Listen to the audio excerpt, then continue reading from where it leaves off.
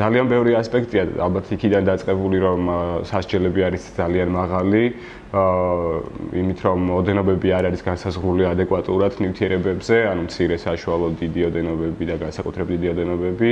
აა და რაც თავარია, როგორც ქართული ჩვენ თავიდანვე ვამბობდით, რომ ეს არის ბერკეტი საპოლიციო სისტემისთვის, პოლიციური სისტემისთვის, რათა აკონტროლონ მათ საზოგადოება და ყავდეთ რაღაცნაირად ყოველთვის ხელში დაჭერილი, ძალიან მარტივი არის ნარკოდანაშაულით გამოჭერა ადამიანების ნარკოდანაშაულზე და შემდგომ უკვე შემდგომი რეაგირებები, ვთქვათ, როგორიც არის მათ მათგან თანხების ამოღება ჯარიმების სახით, თუ ასე შემდეგ და ასე შემდეგ.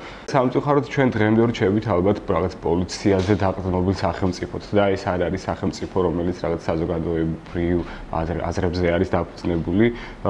სამწუხაროდ 2006 წლის აი ნულოვანი ტოლერანტობის პოლიტიკას ვახსენებთ ხოლმე ხშირად. ეს არის ეს პოლიტიკა დღემდე ჯერ კიდევ ძალაში არის ნარკოდანაშაულებზე და მომხმარებლების მიმართ განსაკუთრებით იგრძნობა ეს პოლიტიკა. თავის დროზე, აი მაგალითად 2006 წელს, როცა ეს პოლიტიკა დაიწყო, ჩვენ ვიცით, რომ ქონდა არც თუ ისე სახარბიელო მდგომარეობა ქვეყანაში, ზოგადად ნარკოვითარების კუთხით.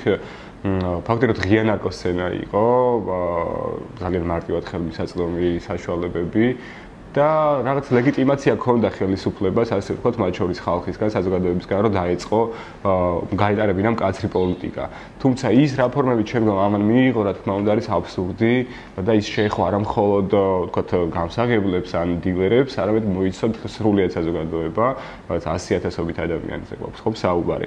და თითქოს შეგვიძლია ვთქვათ, რომ თითქოს ეს სისტემა აღმოაჩინა რაღაც კარგი ბერკეტი აა იმისთვის, რომ აკონტროლოს საზოგადოება, სტატისტიკით манипуляციის შესაძლებლობები, ნარკოდანაშაულთა 95% ითვლება გახსნილად, იმიტომ რომ ძალიან მარტივია ამ დანაშაულების გახსნა. მაშინ როცა მკვლელობების გახსნის მაჩვენებელი 25%-ზე დაბალი არის. ანუ შეგვიძლია ვთქვათ, რომ ამით აბალანსებენ ერთგვარად სტატისტიკას პოლიციელები.